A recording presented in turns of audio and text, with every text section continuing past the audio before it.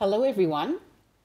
As national president for the three Soroptimist International Indonesia clubs, I am proud to say that as we have emerged out of the worst days of the pandemic of the last two years, our three Indonesia clubs have continued their great work in conducting their respective projects and activities, and one club even managed to hold an in person seminar in Jakarta, its first in more than two years. Our clubs continue to be active in our projects and programs to empower, educate, and enable women in all different aspects of their lives, ranging from economic livelihood, the importance of environmental conservation, gaining more knowledge of their rights as women, to educational opportunities.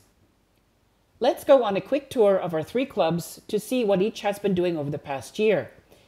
SI Jakarta is continuing with its Lombok project, assisting the village women in Rembitan in their weaving and sewing activities to generate income, as well as encouraging better hygiene and waste management in cooperation with a local NGO. The village's young girls are also being made more aware of global and local issues related to health and hygiene, teen marriages, climate change, and school dropout rates.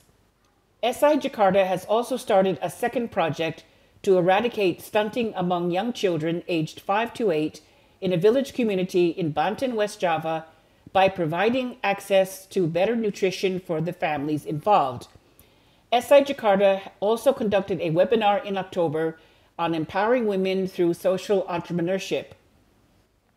Our next club, SI Kemang, took a hands on approach when the club members collected funds to donate to a community whose homes had been razed by fire in the Jakarta area.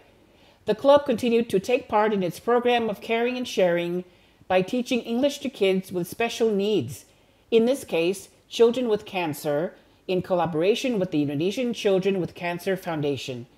Finally, the club rounded out the year with a webinar held in conjunction with the 16 Days of Activism in November with inspiring speakers discussing women standing up against violence.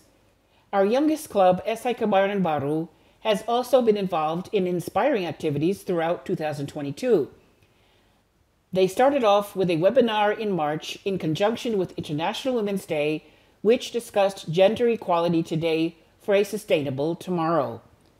Club members continued to show their concern for gender related issues by attending a talk show on gender related violence in late 2022. The club wrapped up their activities by holding a physical seminar on food security and nutrition for young people at a local junior high school in the Jakarta area.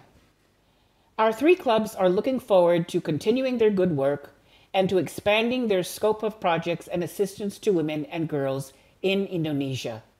Thank you.